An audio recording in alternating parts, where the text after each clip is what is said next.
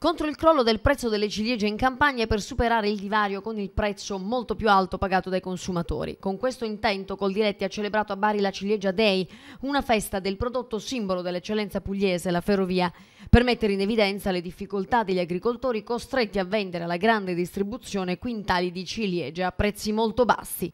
Dal produttore al consumatore, secondo la filosofia di Coldiretti, l'associazione di categoria ha allestito i suoi gazebo nella spiaggia di pane e pomodoro per degustare il prezioso oro rosso e vendere le ciliegie ad un prezzo equo, 1,50 euro al chilo. Buone anche perché al prezzo giusto, un prezzo più basso. È onesto, eh, un euro e mezzo è buono.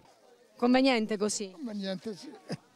Mia moglie mi ha detto di andare a comprare le ciliegie e sono venuto da voi a comprare le ciliegie. Quindi sua moglie i prezzi li conosce. Eh sì. La produzione di ciliegie in Puglia è pari al 40% del totale nazionale e anche quest'anno, nonostante il maltempo, è molto buona.